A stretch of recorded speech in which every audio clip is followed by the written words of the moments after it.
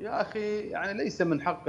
أي جهة أن تعطي مهلة أو أن تعطي تعطي سقف زمني أو تعطي وقت، المفروض هذه الأطراف كما معروف إنه آه، النظام السياسي مبني على العرف السياسي ومبني على إنه رئاسة الوزارات تذهب للشيعة وجمهوريه الكرد ورئاسة البرلمان تذهب إلى السنة للمكون الأكبر آه، الحزب الحاصل على أكبر وأكثر الاعداد في مجلس النواب.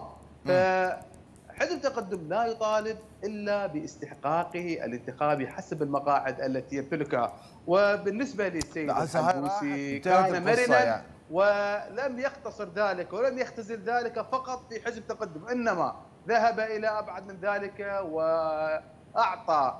فرصة للسيد محمود المشهداني وهو ليس من حزب تقدم لكنه كان قريب آه، وتحالف آه، مع حزب تقدم فأعطاه السيد الحلبوسي الدعم والتأييد لترشيحه لرئاسة البرلمان وهذا خير دليل على أنه